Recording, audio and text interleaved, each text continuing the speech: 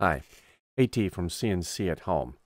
It seems in my last video where I was talking about the library, I skipped an important step. I thought I had put this in there, and apparently I had not.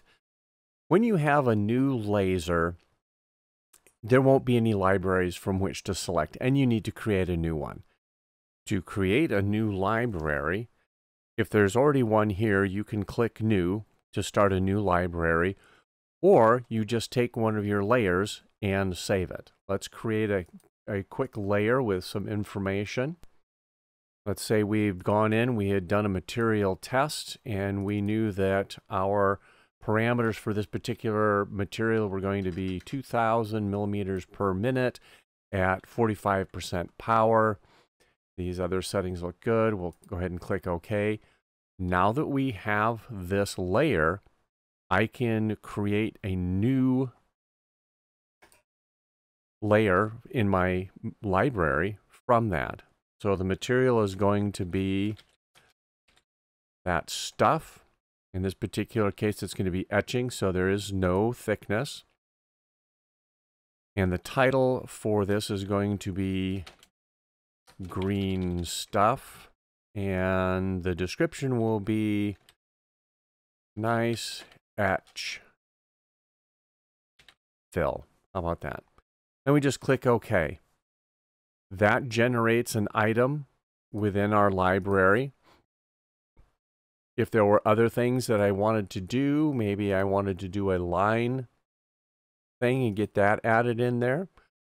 I can go ahead and I can say create a new layer. It's going to be a similar thing. This time though, instead of fill, for the description, I'm going to say that this is going to be line. And now I have another option here called line. And it has all my parameters.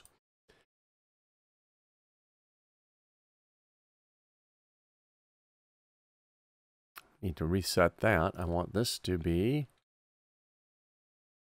and watch what I'm doing. Okay, so now under green stuff, I have both a line parameter and a fill parameter set within my library. And I can continue to add new things to this, and at some point, I'll need to save it. Once we click Save, it's going to want to know where we want to save this. So I can just create a new library. You'll see I have one for my Atomstack, one for the LC50, and this is for the LE5040. I just come down here and say new library and click save. That's all there is to it. Now I have this new library. In this case, it's associated now to my LC50. If I switch to the Atomstack P7, it's using my Atomstack P7 library. Go back to the LC50. The library is using new library. If I want to change that, I simply choose load, select the library I want, and then now my LC50 is associated with the LC50 library. That's all there is to creating a new library, pretty straightforward. Um, we can see now this new button, all that really does is it disassociates this laser from an existing library. Now we have that set back to our LC50. I hope you enjoyed this video. If you did, give it a thumbs up. If you like the content of our channel, please think about subscribing. And if I do miss something in a video, like one of my uh, really good uh, members has pointed out, let me know. And we can uh, add that to another video or try to get an explanation in the comments somewhere.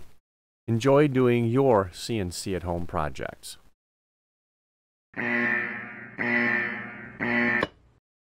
Oops.